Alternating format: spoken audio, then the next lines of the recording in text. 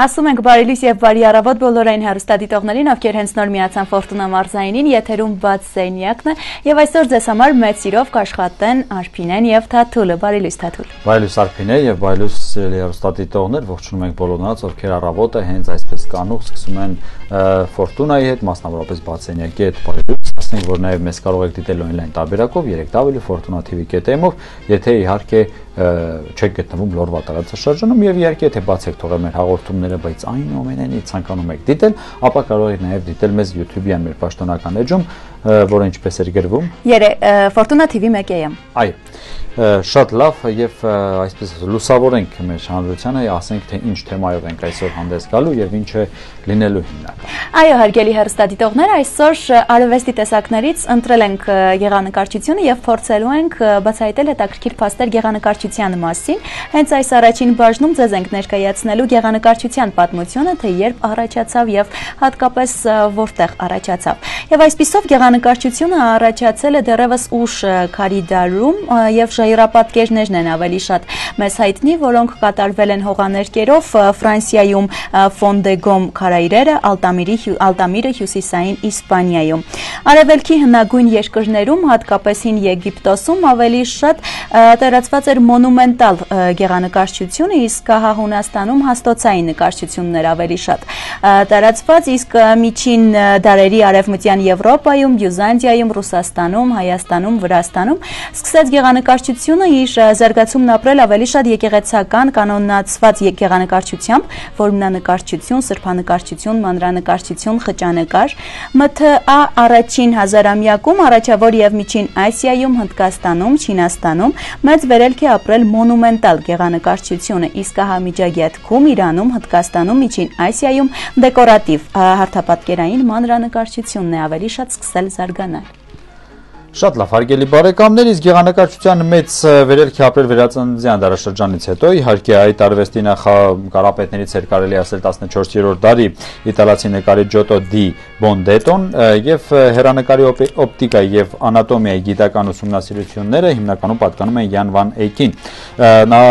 Նիդերլանդներում էր բնակվում եւ կատարելագործեց յուղանակարի տեխնիկայի կիրառումը գեղանկարչության առաջընթաց առաջընթացի մեջ եւ հիմնականում նա ավելի շատ ծանոթ է մեզ լուս ստաստվերային կերպարավորման օգնությամբ ծավալային ձևերի համոզիչ այսպես վերարտադրության հնարքներով եւ կարելի ասել վերածնդի խոշորագույն գեղանկարիչներից շատերն են մեզ հայտնի եւ շատերն եք դուք լսել դրանցից են Մազոչոն, Պիեր դելա Ֆրանչեսկան, Բոտիչելին, Լեոնարդո դա Վինչին, Միքելանջելոն, Ռաֆայելը, Տիցյանը եւ այս շարքը կարելի է արգելի բարեկամներ երկար թվարկել, որովհետեւ նրանք իրոք այն դասականներն են, որոնք համաշխարհային ժառանգություն են թողել մեզ եւ բոլորս էլ հատկապես գտնվելով այսպես Եվրոպայի սերտում Ֆրանսիայում, Իտալիայում մենք կարող ենք իհարկե զմայլվել նրանց գործերով, որոնք որովհետև հենց նրանց գործերի շնորհիվ են, որոնք ստեղծել են պատմամշակութային արժեքներ, որոնցով մենք մինչև հիմա այսպես կարելի ասել զմայլվում ենք։ Հիանում ենք, այո։ Շնորհակալություն ենք ասում իհարկե նրանց, որ թողել են մեզ այդպիսի պատմամշակութային ժառանգներ, ժառանգություններ, որոնք ինձ թվում է անգին են, ոչ թե ինչ-որ այսպես կարելի ասել միլիոններ արժեն կամ միլիարդներ արժեն, այլ պարզապես անգին են եւ տարիների ընթացքում երդել ավելի այսպես կանգինանան, հուսանք, որ չեն լինի համաշխարհային պատերազմներ եւ դրա արդյունքում չեն դժի այս գլուխգործոցները եւ կպահպանվեն դարերի վեր եւ պատմությունը ցույց կտա թե ինչեր են եղել անցյալում։ Այո, եւ այսպիսով հարգելի հեռուստադիտողներ, խոսելով համաշխարհային, հա, այս մեծերի մասին, չենք կարող մոռանալ նաեւ Հայաստանում, հայ Հայաստանում, հա, այդ մեծ մարդկանց մասին, որովհետեւ Հայաստանը զուրկ չէ պատմամշակութային արժեքներից, բոլորս գիտենք դրա մասին, իսկ հա մեր երկրորդ բաժնում մենք պետք է ձեզ ներկայացնենք գեղանկարչությունը Հայաստանում։ Այնպես որ մնացեք Ֆորտունա մարզայինի եթերում, այժմ կդիտենք երաժշտական կատարում եւ կվերադառնանք տաղավար։ Ասում ենք բարի լույս եւ բարի առավոտ բոլոր այն հեռուստադիտողներին, ովքեր հենց նոր միացան Ֆորտունա մարզայինին։ Հիշեցնենք, որ առաջին բաժնում ձեզ ենք ներկայացրել գեղանկարչության պատմությունը, իսկ հա այս բաժնում ներկայացնելու ենք Հայաստանում գեղանկարչության պատմությունը, ինչպես շատ եւ այլ բառեր։ Գեղանկարչությունը նույնպես հայերենում ունի իր հոմանիշները եւ այսպես նրանք են՝ գունանկար, գունանկարչություն, գունագրություն, կենթանագիր, կենթանագրություն, երբնագիր։ Հայկական գեղանկարչությունը գեղանկարչության սկզբ պայմանավորումը շատ հին է եւ դա կապված է եղել օրգանական եւ անօրգանական բազմաթիվ նյութերի առատությամբ, ներկերի առատությամբ, որոնք եւ ազդել են, որ գեղանկարչությունը զարգանա եւ առատորեն աճի Հայաստանում։ Եվ այսպիսով Հայաստանը եղել է բազմատեսակ ներկանյութեր ու ներկեր արտահանող արդեն իսկ անտիկ շրջանում։ Չեն կարող չհիշատակել Գառնիի Բաղնիքի խճանկարի հատակը, որը պատկանում է 3-րդ դարին։ Դա որտեղ լավագույնը օգտագործված են այն բոլոր ներկայնյութերը եւ պահպանված է մինչեւ այսօր այդ արժեքը հասել է մեզ եւ մենք ամեն կերպով պետք է փորձենք այն պահենք եւ պահպանենք։ Այո, Եվ հարգելի բարեկամներ, Հայաստանում այսպես ֆեոդալիզմի հաստատումը նաև այսպես եկեղեցուն արդեն պաշտոնակցել է, նոր թափ տվեց գեղանկարչությանը եւ կարելի ասել, որ նկարիչների միակ պատվիրատուն եւ այսպես ուղղորդող այսպես դերը ստանձնեց եկեղեցին եւ հիմնականում նկարները նկարվում են եկեղեցիներում, որ նկարների միջոցով որոնք էլ ունեին արդեն թեմատիկ եւ թելադրող այսպես նշանակություն։ Դրանցից արդեն պահպանվել են եւ ինչպես արդեն իմ գործընկերուին նշեց, իհարկե երրորդ տարից սկսած, բայց հիմնականում թվագրությունները պահպանվում են արդեն 4 տարին են պատկանում եւ 4 տարում որոնանկարները պատկերվել են Մանասկերտում, Խճանկար, Դվինում եւ Երուսաղեմում, հարգելի բարեկամներ, այնուհետեւ մինչեւ 13-րդ դարը, 12-րդ դարը հայկական միջնադարյան գեղանկարչությունը կարելի ասել մի քիչ սակավեց, այսպես որմնանկարչությունը մի քիչ սակավեց եւ նոր թափառավ արդեն 12-13-րդ դարի սկզբներին 4 տարից առանձին թերթիկներով, իսկ արդեն 9-րդ տարից մատյաններով մեզ են հասել մանրանկարչության բազմաթիվ նմուշներ, որոնք էլ արդեն կարելի ասել հենց ավելի շատ հայկական այսպես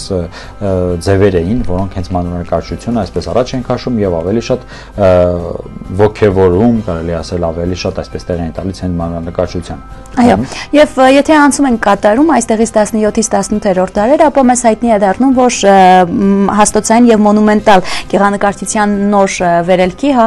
գլխավորողներն են լինում Նաղա Շովնաթանը, նրա հետևորդները, ինչպես նաև նոր ջուղայում գտնվող նկարչական դպրոցը, եւ այսպիսով ինչումն է կայանում նրանց փոփոխությունը գեղանկարչության մեջ, հա, որ որ տեղի է ունենում այդ ժամանակաշրջանում Հայաստանում, նրանք եկեղեցականի կողքին դնում էին նաև աշխարհիկ բովանդակությունը եւ պրոֆեսիոնալ գեղանկարչություն էին արտադրում այդ ձևով եւ դրա համար էլ 17-ից 18-րդ դարն էլ մեկ այլ փուլով է պահպանված Հայաստանում որպես գեղանկարչության նոր ինչ-որ ուղղություն։ Եվ նոր գեղանկարչությունը հարգելի բարեկամներ իր ձևակերպումը ստացել է Հովանես Հովնաթյանյանի, Հովանես Այվազովսկու մի փոքր ուշ արդեն կարելի ասել նաև Ներսիսյանի ստեղծագործություններում։ Ասպարեզ են եկել նկարիչների մի փայլուն աստղաբույլ, որոնցից են Սուրենյանցը, Բաշինջաղյանը, որոնց վարժովերջին նաև միացան Փանոս Տելեմեզյանը, Աղաջյանը եւ Թադևոսյանը։ Եվրոպիայի այսպես ներգաղթյալներից էլ Մախոխյանը, Քուրքչյանը, Շահինը եւ ուրիշները, որոնք էլ հայկական գեղանկարչությունը հասցրել են ռեալիստական արվեստի ժամանակաշրջանի արտահայտչան միջոցներով։ Այո, այստեղից էլ կտրուկանցում են կատարում խորհրդահայ ժամանակաշրջանները եւ խորհրդահայ գեղանկարչության մեջ իրենց ուրույն տեղն են ունեցել Մարտիրոս Սարյանը, Հակոբ Կոջոյանը, Թերլեմեսյանը, Թադևոսյանը, Աղաջանյանը, Արաքելյանը, Գայֆեջյանը, Գյուրջյանը, Ալեքսանդր Բաշբեուգ-Մելիքյանը եւ այսպիսով այս գեղանկարիչները, արվեստագետները իրենց ջանքերով ստեղծել են այնպիսի արժեքներ, որոնք որ պահպանված են մինչև այսօր եւ մենք մեծ պարտությամբ ենք խոսում այդ արժեքների մասին։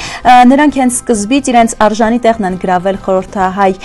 բազմազգ կերպարվեստի ընտանիքում եւ մինչ այժմ էլ գտնվում են այդ ընտանիքի ներքո։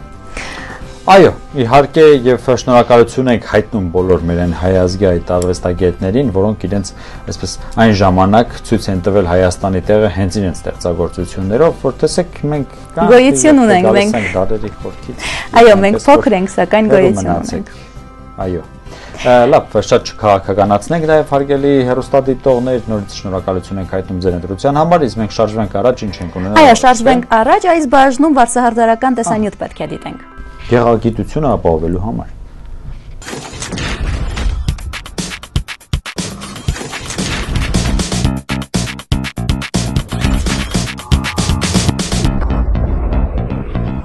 Նորից տաղավարում ենք եւ ասում ենք բայլույս բոլոր նրանց, ովքեր ինձ նոր միացան մեզ, իսկ մենք շարունակում ենք մեր եթերը եւ իհարկե Խոսքը հիմնականում այսօրվա մեր թեման արվեստից է լինելու, մասնավորապես գեղանկարչությունից եւ խոսելու ենք հայտնիների մասին,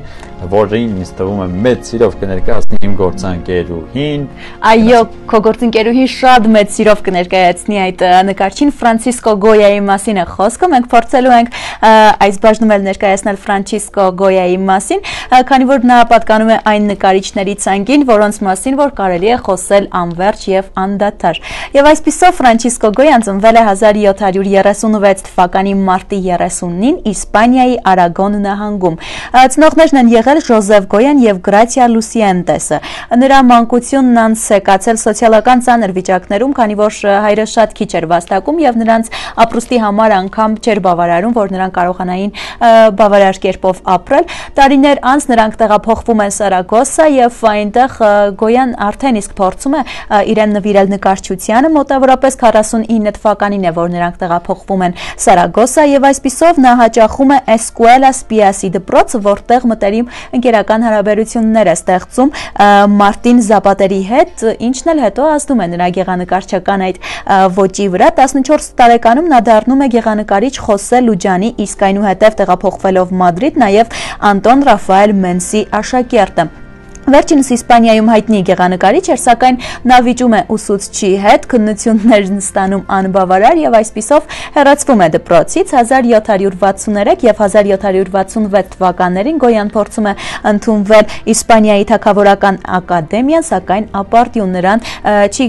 թույլատրվում այդտեղ ընդունվել եւ այսպիսով նա մեկնում է Հռոմ եւ 71 թվականին Պարմայում կազմակերպված նկարիչների մրցույթում գրավում է երկրորդ տեղը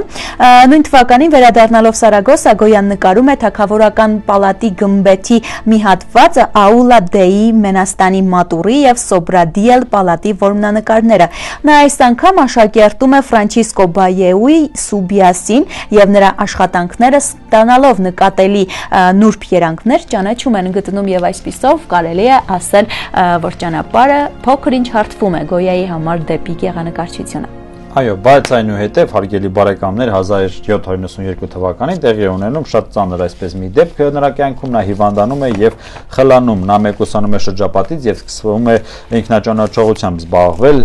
հաջորդ 5 տարիների ընթացքում զբաղվում է առողջական այսպես վիճակը էլ ավելի բարելավելու եւ կարդում է ֆրանսիական հեղափոխության մասին գրքեր իսկ 1799 թվականին Գոյայի կյանքում այսպես կարելի ասել բեկումնային այսպես ժամանակաշրջան է ապրում որովհետեւ նրա կյանքը մի շարք կոմպոնենտներով կարելի ասել բարելավ զբաղվում է, որովհետև պալատական գեղանկարիչ է դառնում եւ 50000 ռեալ եւ որպես ուսուցիչ 500 դուկատ եկամուտով նա աշխատում էր Սանտա Անտոնիայի Ֆլորիդայի Էրմիդաժի գմբեթում եւ նա նկարում էր թակավորին, թակուհուն, այսպես թակավորական ընտանիքի անդամներին եւ իհարկե այդ ժամանակվա էլիտայի մի շարք ներկայացուցիչներին։ Եվ Իսպանիայի վերադառնում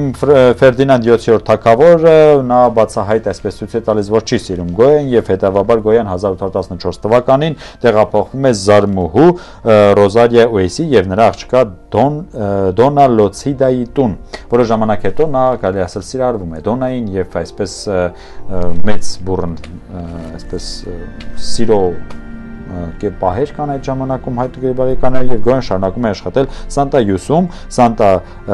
Ռուինայի եւ Տավրոմոխիայի նկարների վիմագրությունների վրա։ Այնուհետև արտաքին աշխարհից մեկուսանալու նպատակով նա տուն է նա տուն գնեց Մազարինիի մոտ, Խուլտուն, որտեղ նա ստեղծեց իր մերյալ նկարների շարքը, որը ինձ թվում է աշխարհով մեկ ճանաչված եւ հայտնի Եվ այսպիսով հարգելի հեռուստադիտողներ 1824 թվականին Գոյան շատ դժգոհ հեռանում է Իսպանիայից եւ բնակություն է հաստատում Բորդոյում, այնուհետև 26 թվականին վերադառնում է Իսպանիա կրկին առողջական խնդիրների պատճառով, ճիշտ է նրան ընդունում են այս անգամ շատ լավ, սակայն այնուամենայնիվ նա չի մնում Իսպանիայում եւ կրկին վերադառնում է Բորդո քաղաք։ Եվ այսպիսով 1828 թվականի ապրիլի 16-ին 82 տարեկան հաս հասակում նա մահանում է հենց Բորտոյում իր մռայլ նկարների շարքը, որը քիչ առաջ ասացինք, որ հայտնի է ամբողջ աշխարհով մեկ, նա ավելի շատ նկարել է ինկվիզիցիայի շրջանում, երբ որ գոյային կտանքների են ենթարկել։ Եվ այսպեսով հաշվի Եվ դրա համար երևի եղել է հենց մռյալ մեռյալ նկարների շարք, մեռյալ գիներով, եթե չեք տեսել կարող եք պարզապես նայել կան ինտերնետում այսպես։ Այո, եւ այսպեսի մի դեպք հիշեցի Գոյայի հետ կապված, սա նույնպես ասենք եւ անցնենք առաջ։ Այն ժամանակներում պալատական նկարիչները սովոր են եղել, որ պետք է թակավորին թագուհուն նկարեն գեղեցիկ գեղեցիկացված տարբերակով, այսպես ասած։ Եւ այո, այո, եւ երբ որ Գոյան պալատական նկարիչ է դառնում եւ պետք է այդ ժամանակ նկարի թագուհուն, նա թագուհուն նկարում է այնպես, ինչպես որ նա կա եւ հենց այդ պատճառով էլ Գոյային մի որոշ ժամանակ ազատում են պալատական նկարչի պաշտոնից, ինչեւ որ հետո Գոյան կրկին վերադառնում է պալատական նկարչի այդ պաշտոնին։ Եվ այսպիսով Այո, անարթարությունները նորից եղել է այդ անարթարությունը։ Այո։ Պետք է իրերը կոչել իրենց անունները։ Ահա։ Եվ այսպեսով հարգելի հարստատիտողներ, այսքանն էլ նախապատրաստել էին Գոյայի կյանքի մասին, իսկ այժմ պետք է տեսնենք, թե ինչ տեսանյութ է պատրաստել մեր գործընկերուհի Անին։ Մնացեք Ֆորտունա Մարսայինի եթերում։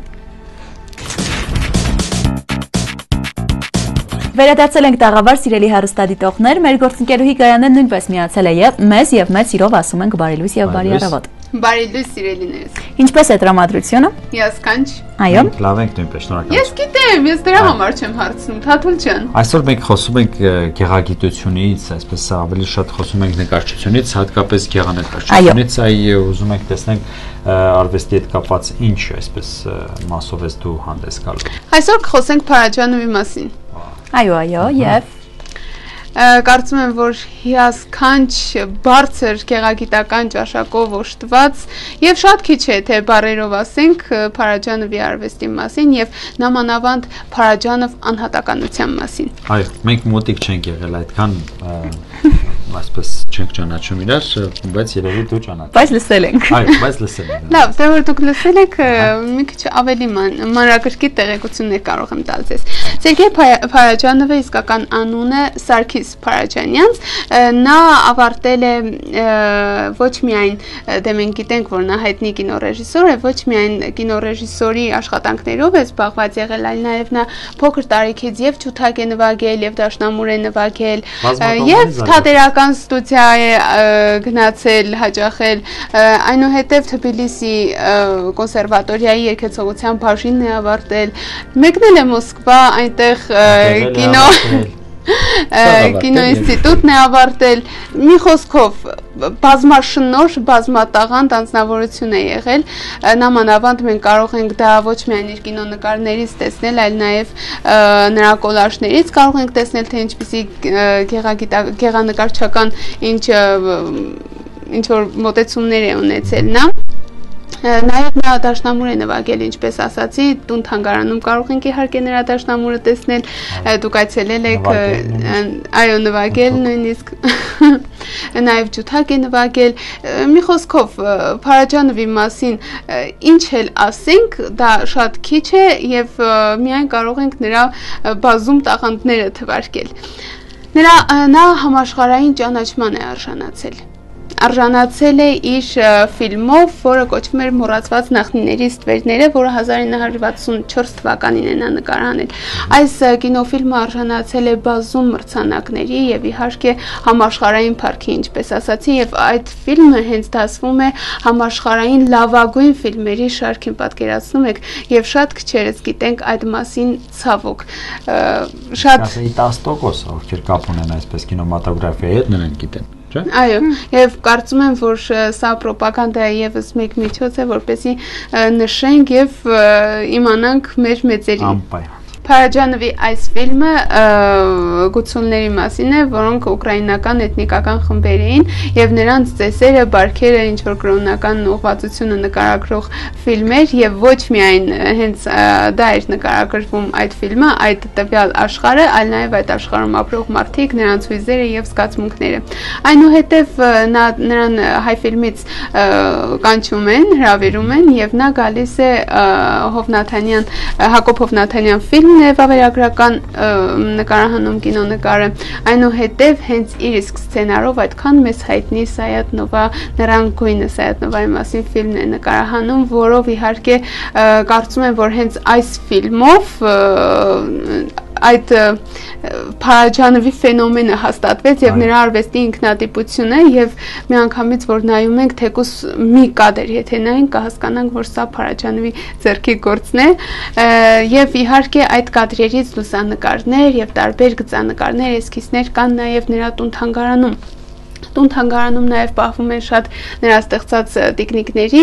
հավաքածուներ, գլխարկների հավաքածուներ նվիրված շատ հայտնի դերասանուհիներին Թբիլիսի, նաև շատ տարբեր կոլաժներ, մանրանկարներ եւ այլն։ Կարծում եմ, որ նա ոչ միայն շատ լավ կինոռեժիսոր է, այլ նաև իհարկե շատ լավ նկարիչ։ Այո։ Շնորհակալություն ենք հայտնում Գայանե քեզ հատկապես նրա համար, որ այսօր մատուցեցիր մեզ Հայաստանի հետ կապված հետաքրքիր նյութը, քանի որ մենք այսօր շատ քիչ էինք անդրադարձել դրան։ Շնորհակալություն եւս մեկ անգամ։ Իսկ մենք հարգելի հարստադիտողներ շարժվում ենք առաջ գեղեցիկ երաժշտական կատարում, այնուհետև կվերադառնանք տաղավար։ Գնացինք։ Բաց սենյակը շարունակում է իր ընթացքը հարգելի հեռստադիտողներ եւ կրկին ու կրկին ասում ենք բարի լույս եւ բարի առավոտ բոլոր նրանց, ովքեր հենց նոր միացան Ֆորտունա մարզայինին։ Հիշեցնենք եւս մեկ անգամ, որ այսօր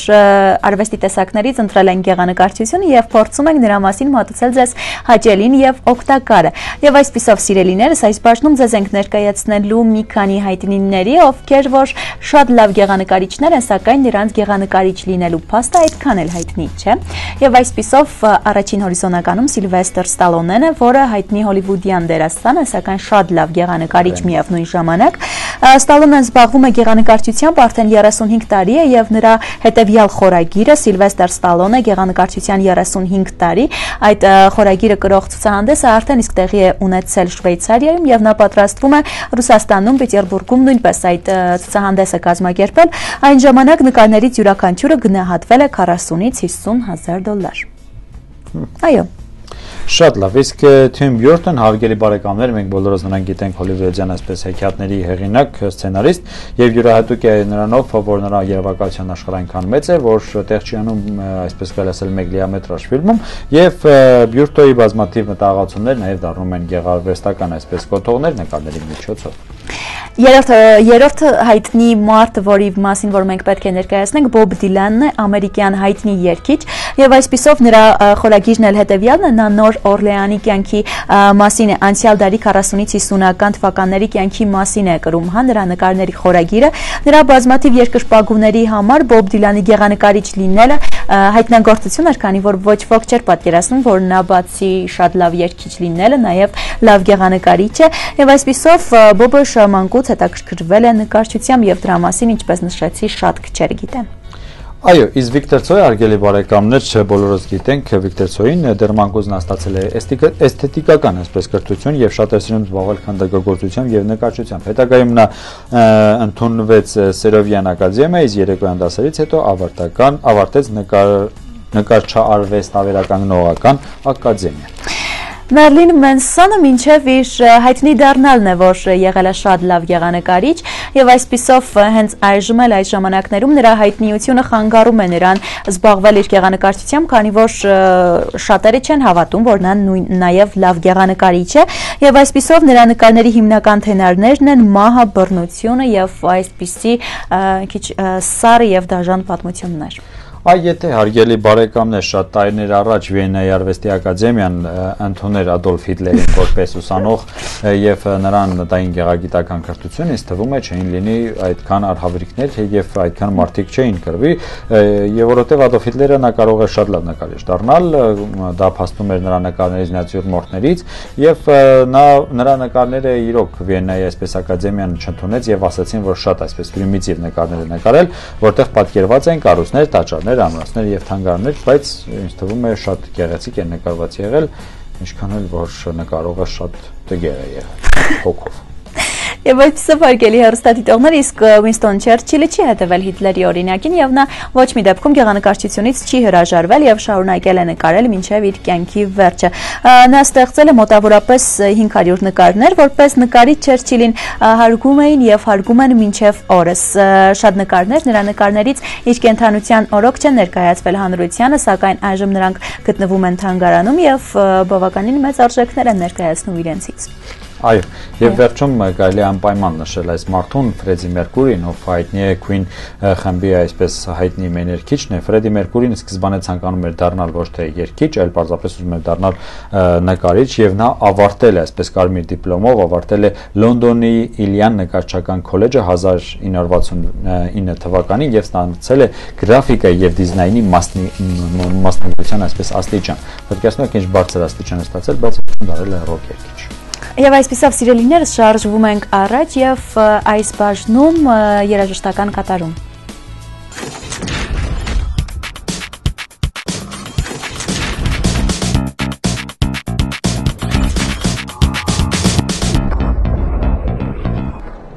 Բայլույս ենք ասում բոլոնց, ովքեր ինձ նոր միացան մեզ, իսկ մենք շարունակում ենք մեր այսօրվա թեման, իհարկե խոսում ենք գեղագիտությունից, արվեստից եւ մասնավորապես գեղանկարչությունից եւ նկարչությունից, նրա նվիրալներից, որոնցից մեկն էլ Վան Գոգն է։ Բոլորս գիտենք Վան Գոգին, ճանաչում ենք, գիտենք նրա նկարներից, բայց չգիտենք թե ինչ հետաքրքիր այսպես պատմություններ կան կապված նրա հետ։ Եվ առաջին հարգելի բարեկամներ, հանրահարճակ նկարիչ, ում նկարներն այսօր վաճառում են միլիոնավոր այսպես դոլարներով ամբողջ աշխարհում, ընդամենը զբաղվել է նկարչությամբ 10 տարի, պարզապես 10 տարի նվիրել է եւ թողել է այդպիսի մեծ ժառանգություն։ Այո, երկրորդ հետաքրքիր փաստ Վան Գոգի հետ կապված հետավյալն է հարգելի հեռուստադիտողներ, մինչև սիրելի գործով, այսպես ասած, ապրելը, զբաղվելը, նա եղել է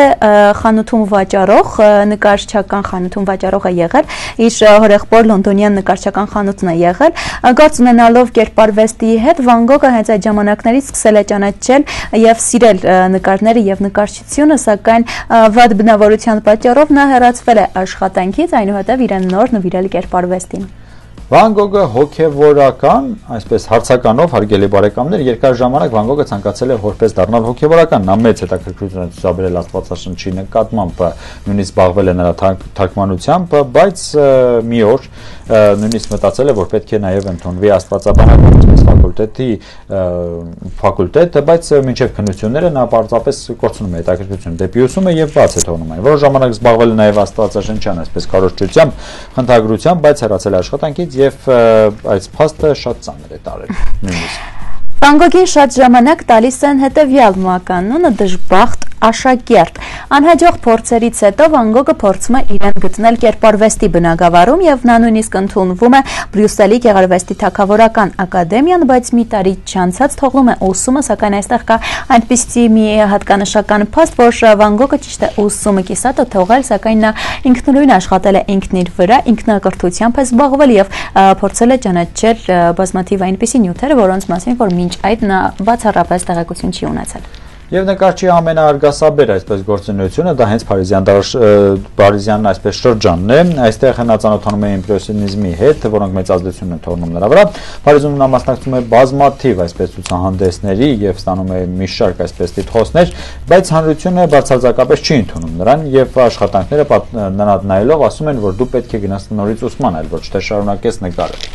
Այո, հարգելիներս, այս բաժնում ձեզ ներկայացրեցինք 5 հետաքրքիր փաստեր Վան Գոգի մասին։ Այժմ տեսնենք, թե ինչ է ներկայացնում, ինչ է առաջարկում մեր ռեժիսորը, այնուհետև մենք կվերադառնանք տաղավար եւ կներկայացնենք եւս 5 հետաքրքիր փաստեր Վան Գոգի կյանքից։ Գնացինք։ Սիրելի հարստադիտողներ, շարունակում ենք Վան Գոգի հետ կապված հետաքրքիր փաստերը, ինչպես խոստացել էինք այս բաժնում ձեզ ենք ներկայացնելու այն 5 հետաքրքիր փաստերի շարունակությունը, եւս 5 հետաքրքիր փաստեր եւ այսպիսով կտրված կտրված ականջի միֆն է 1889 թվականին ընդհանուր արվեստանոց գտնելու նպատակով Վինսենտ Վան Գոգի եւ Պոլ Գոգյանի միջև կոնֆլիկտ է ցակում։ Վինսենտը հարցակվում է ընկերոջ վրա ձերքին ածելի, Գոգյանը չի տուժում, սակայն Վան Գոգը կորցնում է իր ականջի մի մասը, ինչի հետևանք էր սա խղճի խայթն էր, թե աբսենթի չարաշահումը։ Ոչ ոք չգիտի դրանից հետո հանրությունը պահանջում է, որ Վան Գոգին մեկուսացնեն, քանի որ նրան համարում են վտանգավոր անձ հանրության համար եւ այսպիսով Վան Գոգին տեղափոխում են Սան Ռեմի դե Պրովանս հոգեբուժարան, որտեղ եւ նա շարունակում է իր ստեղծագործական կյանքը զարգացնել եւ ստեղծում է իր գլուխգործոցներից մեկը Աստղային գիշերը։ Ճանաչում, այսպես կարելի ասել, մահից հետո Վագոգի առաջին այսպես ճանաչումը ունեցավ իր կյանքի վերջին տարիներում բրյուսելական ցուցահանդեսից հետո այս ժամանակ լույս տեսավ առաջին դրական հոդվածը հենց Վանգոգի վերաբերյալ Կարմիր խաղողի այգիները Արելիում այսպես ստեղծագործության մասին էր, որը 1878 թվականին Հանելուկային մահ այսպիսի ֆրազ եւս կապվում է Վան Գոգի կյանքի հետ։ Վան Գոգը մահացել է 37 տարեկան հասակում կորսկին ստացած վնասվածքի պատճառով եւ այսպիսով շատ արյուն է կորցրել այդ ժամանակ այդ իսկ պատճառով մահացել է։ Վնասվածքն ստացել է իր մոտ եղած զենքից, սակայն մինչ այժմ հանելուկ է մնացել, արդյոք դա եղել է ինքնասպանություն թե կանխամտածված սպանություն։ Վան Գոգին վերջին խոսքը հետը եղել է հետեւյալը թախիցը հավերժը շատ հետաքրքիր է ասված եւ ամենամոտ մարդը Վան Գոգին հարգելի բարեկամներ կյանքի առանձնահատուկ այսպես դեր ունեցել հարազատ եղբայրը տոնը հենց նա է ամենից շատ աջակցել Վինսենտին օգնել հարավային այսպես արվեստանոցի կազմակերպման գործում հենա է փորձել կազմակերպել նկարչի հետմահու ցուցահանդեսները բայց շուտով նա ձեռք է բերում հոգեկան այսպես հիվանդություն եւ ուղիղ կեստարյանց հետևում է եղբոր այսպես ուղուն եւ մահանում։ Եվ այսպեսով հարգելիներս 10-րդը եւ վերջինը հետեւյալն է՝ միակ վաճառված նկարի մասին միֆը եւ ըստ այդ միֆի ասվում է, որ մինչեւ Վան Գոգի մահը վաճառվել է նրա նկարներից միայն մեկը՝ Կարմիր խաղողի այգիները Արլում։ Սակայն սրա հետ մեկտեղ կան նաեւ հակազդումը եւ ասվում է, որ մինչեւ նրա մահը ոչ միայն այս նկարն է վաճառվել, այլ վաճառվել են եւս այլ նկարներ։ Ինչևից է սա մնում է այն միֆը, որը մինչեւ այժմ էլ բացահայտված չէ, սակայն հարգելի հեռուստադիտողներ, այն որ Վան Գոգը թողել է մեզ այնպիսի ժառանգություն, որի մասին որ խոսում ենք այսօր եւ հաստատ խոսելու են շատ-շատ դարեր, կարելի ասել դարեր, դա փաստ է եւ այսպեսով հարգելիներս այսօրվա համար նախապատրաստել էինք այսքանը։ Միշտ մնացեք Ֆորտունա Մարզայինի հետ եւ ձեզ մենք միշտ կփորձենք փոխանցել հետաքրքիր եւ հաճելին այսօրվա համար այսքանը։ Մնացեք սիրով։ Այո, հարգելի ուսուցողներ, ես էլ միանամ իմ գործընկերու մաղթանքներին, մաղթենք ձեզ տակ այսպես ջերմոր, ամառային օր, իսկ դուք մնացեք Ֆորտունա մարզային հետ, որովհետև հիմա մարզենյակն է ավարտվում, բայց շարունակվում են եւ հետաքրքիրները դեռ արժևում են։ Մնացեք մեզ հետ, իսկ մենք կհանդիպենք